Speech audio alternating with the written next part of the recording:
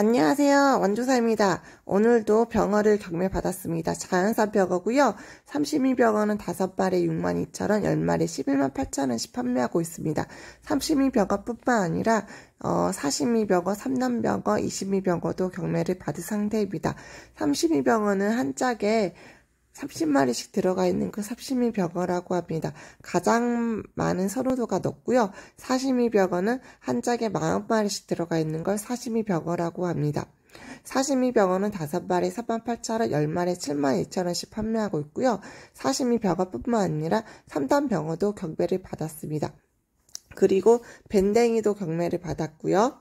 보시다시피 여기는 사시미 병어를 모습입니다.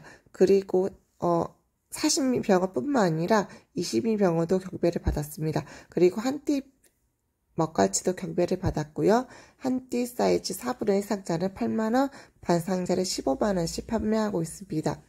어, 오늘 같은 경우는 먹갈치 물량이 많이 없었는데 그래도 좋은 가격에 경매를 받은 상태입니다. 먹갈치는 진짜 지금이 가장 부드럽고요. 정말 무나 감자에 같이 졸여 먹으면 너무나 맛있는 밥밭차지 됩니다. 물이 굉장히 싱싱합니다. 감사합니다.